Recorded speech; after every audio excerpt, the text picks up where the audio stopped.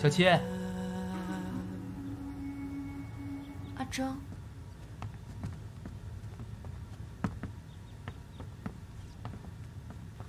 怎么了？在想什么呢？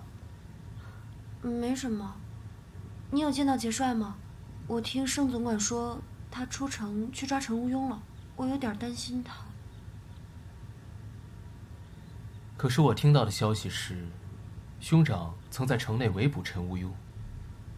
以兄长的本事，活捉他应该不是难事。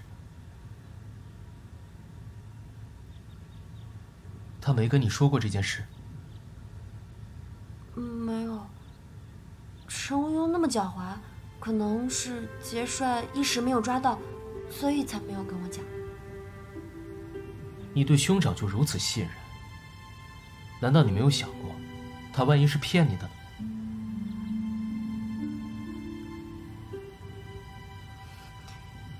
不会的，我这点很有信心，因为至今他都没有逼问我我的身份和来历。就在昨日，我想跟他坦白一切来着，他都叫我别说出来。兄长对你的身份一点都不好奇吗？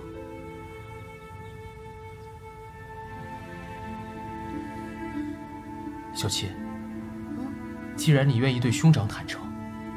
那你可否也告诉我你的身世？我之前没说我的身份，是因为我跟继父有千丝万缕的关系，怕说出来反而坏事。事到如今，那我就告诉你，我叫沈昭儿，我父亲是沈青云，曾是继父的太医。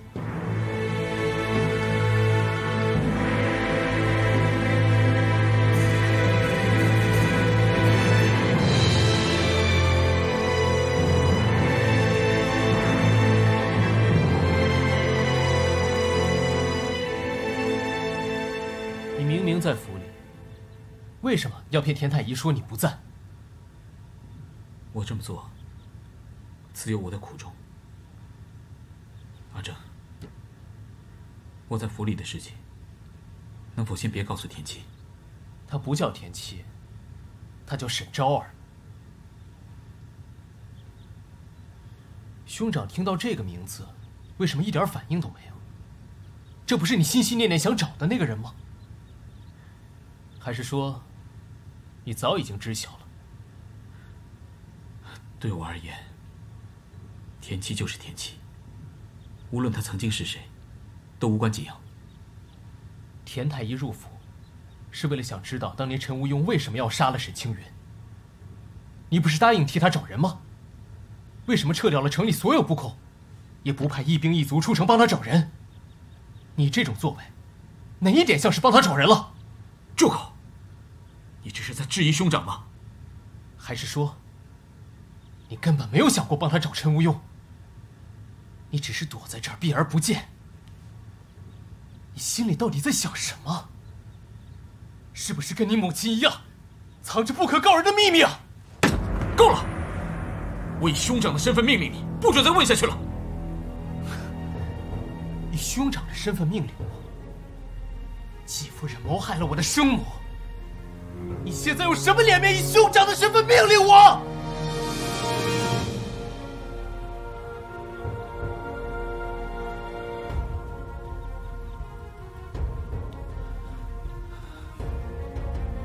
于你生母的事情，我很抱歉。不过我母亲这么做，也是有她的苦衷的。若是你心中有怨气，就冲着我来吧。你想替你的母亲扛？那好啊，把小七让给我。这绝无可能。